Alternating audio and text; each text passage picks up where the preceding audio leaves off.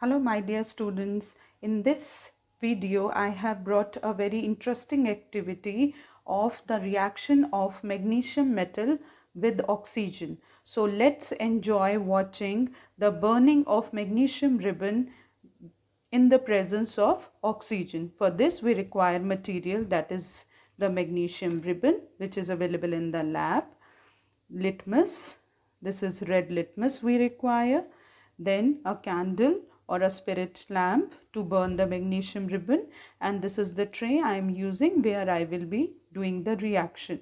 So this is a pair of tongs where I have fixed one magnesium ribbon over it, a piece of magnesium ribbon over here. Now before starting with the reaction, there is very important thing which you all must know that when magnesium ribbon is there in the lab, since it is very reactive metal, it has got a covering of white powder over here. Now this grey color magnesium ribbon, it has got a coating of basic magnesium carbonate due to reaction of this highly reactive magnesium with carbon dioxide and the water vapor present in the air. So before the reaction, we have to rub the piece of magnesium ribbon with the sandpaper to make it shiny. So this we have rubbed with the sandpaper and now you can see that now here there is no coating of magnesium carbonate and this is a very shiny layer of magnesium ribbon. So let's start with the reaction students. First I will be lighting up the candle using a matchstick and then using a pair of tongs I will heat it up over here and try to burn it in the outermost flame of this candle because that is the hottest zone which you have already done in the combustion chapter. It will take time to burn because the ignition temperature of this has to reach only then it will start burning and then it will catch fire.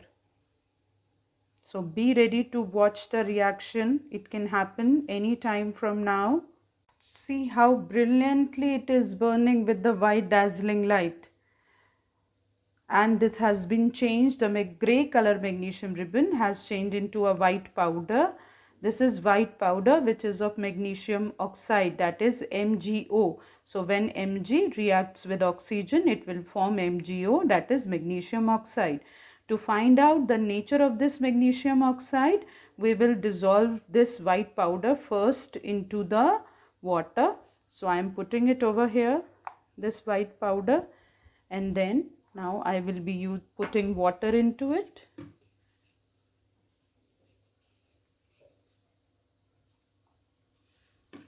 Stir a little.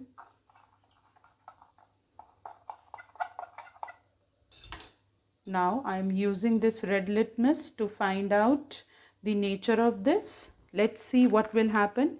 If we will put this red litmus I am putting a dot over here so that the color change a drop over here so that we can easily find out the color change. See this is red litmus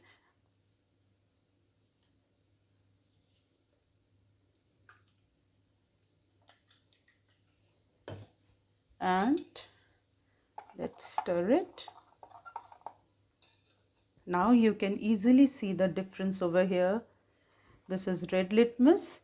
And when we have put it over here where we have dissolved magnesium oxide in water it has changed into blue litmus. So whenever the red litmus is changed into blue litmus that means the solution is basic so what is the nature of magnesium oxide? The nature of magnesium oxide is that it is basic in nature. So it is a basic oxide because MgO that means magnesium oxide it will react with the water to form a base magnesium hydroxide which will turn the red litmus solution into blue litmus. So this is all about the burning of magnesium ribbon activity. I hope you enjoyed watching this and um, the key points over here is that it is the uh, burning of magnesium ribbon. It is a combination reaction and magnesium oxide. It will burn with the white dazzling light a white powdery substance is formed which is of magnesium oxide.